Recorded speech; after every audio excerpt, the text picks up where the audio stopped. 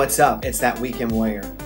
I wanted to circle back on one of my earliest videos where I talked about reproduction boxes.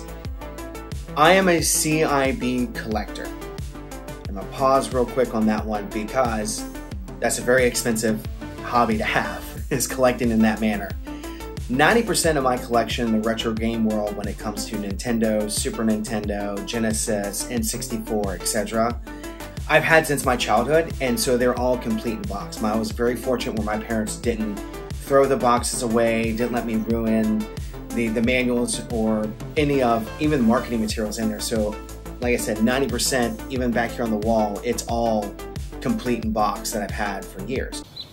Lucky. However, there's games that I rented throughout my childhood or borrowed from friends that I never bought that I wanted to add to the collection. So, since starting the channel and going to expos over the last couple years, I've started to acquire um, retro games that I didn't have. But I buy them loose. Why?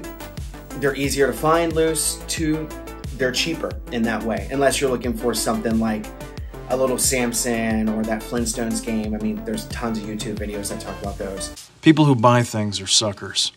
But recently, when I went to Really Rad Weekend, if you watch that video, I posted pictures of some of my pickups, and there were retro games in there. For display purposes, though, I like having boxes. And in the earliest video, here's where I've come back around.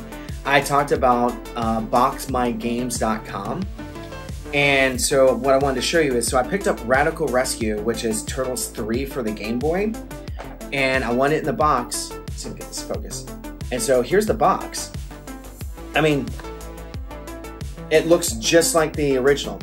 It's a little bit more saturated. The colors might be a little different, like in the sense of like it's either a little bit more vibrant due to the extra saturation, maybe a little not as crisp, a little blurry.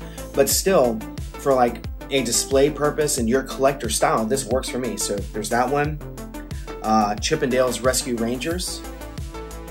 Again, I just bought the carts, but I want to put them in these boxes when I put them up on the wall and with my other games. Dragon Warrior 2.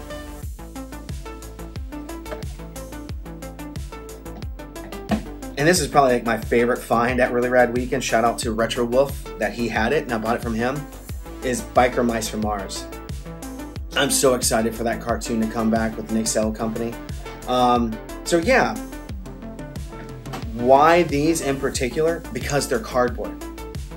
There's many reproduction boxes out there and I'm not sliding. If that's the way you like to catalog, you like to display, whether it's those types or just loose, I like the cardboard. It gives me that feeling of nostalgia with opening the other games. Granted, they're a little more saturated, like I said, a little glossy to the touch, but dimension-wise and look and feel, I mean, let me just kind of bring this into me. Look at that. It's all there. I'm not sponsored by them. This isn't an affiliate thing like my stuff with Super 7.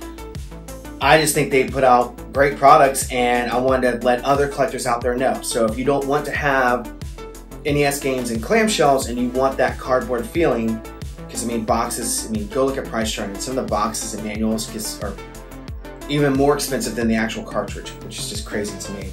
Um, great stuff. BoxMyGames.com.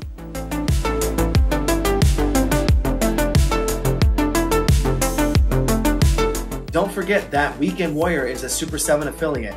They make some of the raddest toys and collectibles out there with their Reaction and Ultimates line, as well as some really cool apparel. Make sure you use the code Weekend Warrior, all one word, at checkout. Thank you so much for watching, I really appreciate it. If you haven't yet, click that subscribe button as well as the bell to get notified when I drop new content. And until next time, be good.